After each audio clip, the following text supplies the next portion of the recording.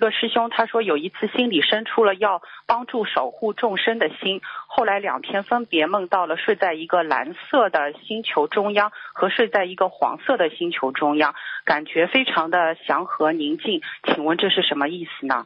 祥和宁静，很好啊，他精神上去了呀。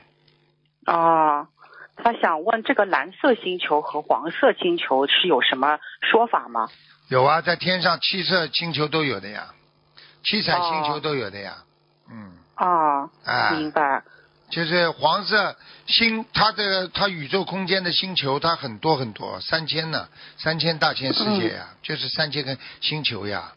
嗯所以为什么？人家说星球大战呢？这就拍的那些东西，星球，它它实际上星球它本身就是一个宇宙空间的一一种维体呀，维体空间呀，嗯，它什么样子都有的呀。哦，就啊没有什么特别的说有啊什么区别。你比方说黄色的嘛，就是太阳的星球呀，太阳星球呀。啊，你刚刚说还有一个什么颜色啦？蓝色的。啊，蓝色嘛叫 Neptune，Neptune，实际上 对啊，实际上实际上它就是属于另外一个星球，这个星球也是跟太阳系啊、银河系是一样的。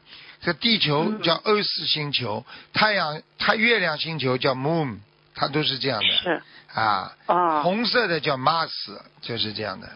啊，是是啊。啊。感恩师傅慈悲开始。嗯